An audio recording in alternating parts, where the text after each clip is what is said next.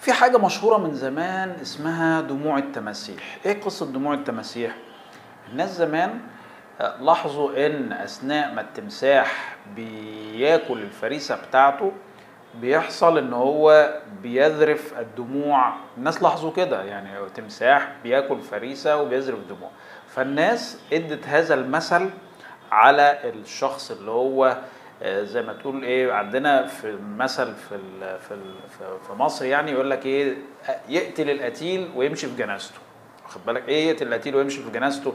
هو بي بيمثل إن هو بيتباكى على ال- الفريسة وفي أثناء ما هو بياكلها. ده التمساح بيعمل كده.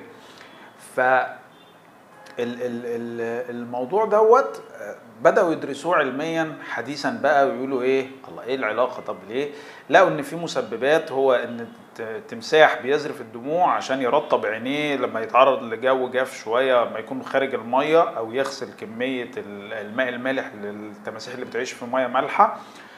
وإن ساعات مع الأكل ده بيدخل زي هوا كده في الجيوب الأنفية بتاعته فبيستفز موضوع إن الدموع دي تفرز. فعشان كده فعلا هم لقوا فعليا آه علميا إن هو بيذرف دموع وهو بياكل فريسته ال- الموضوع دوت ساعات في ندرة من الناس يحصل ممكن من ناحية مرضية. لما يكون مثلا آه، في إصابة في العصب السابع آه، خاصة لو الإصابة دي نتيجة آه، عملية أو خبط أو ما شابه فبتعمل زي ما إحنا بنقول كده بالبلدي عندنا إن السلوك دخلت في بعض إن ال- ال- العصب السابع بقى بيغذي عضلات ال- ال- المضغ وعضلات الوجه طبعا هو بيغذي عضلات الوجه وعضلات المضغ وكمان وهو بيغذي عضلات المضغ بدأ يدي آه، بالخطأ آه، يعني بعض الأعصاب لل الغده الدمعية فأثناء ما هو بيمضغ بدأ إيه تبدأ الدموع بتنزل ودي في ندرة وزي ما قلنا بتبقى في حالات إصابية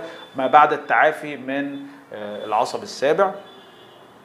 ده بس بالنسبة لإيه قصة دموع التماسيح.